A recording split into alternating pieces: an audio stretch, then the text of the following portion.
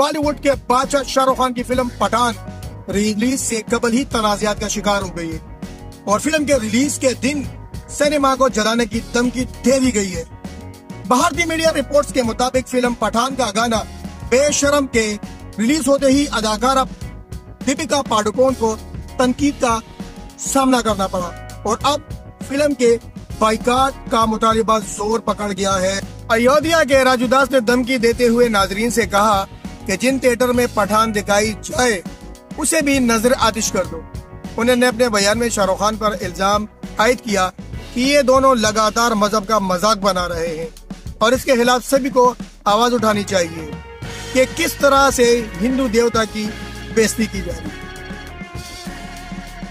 राजू दास ने कहा कि पठान फ़िल्म में गाने बेशरम में दीपिका के ज़रिए साधो, संतों और मुल्क के रंग भगवान को ठेस पहुंचाई गई है।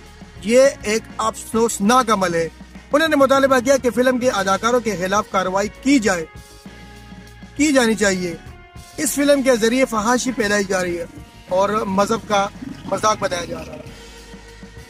याद रहे कि पठान आइंदा साल 25 जनवरी को सिनेमाघरों की जीनत बनेगी।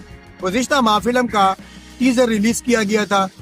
पठान की हिदायतकारी के फराइज सिद्धार्थ आनंद ने अंजाम दिए हैं, जबकि शाहरुख खान जान अब्राहम और दीपिका पाडुकोन मुमकिन तौर पर जासूस के किरदार में दिखाई देंगे। बॉलीवुड तजियाकारों की जानब से फ़िल्म को मुस्बित रेटिंग दी गई है और उसे हिट करा दिया जा रहा है।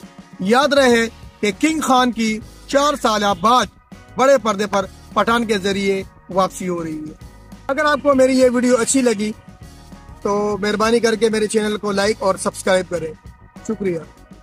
ऐसे मजीद वीडियोस को अपडेट करने के लिए हमारे चैनल को सब्सक्राइब करें।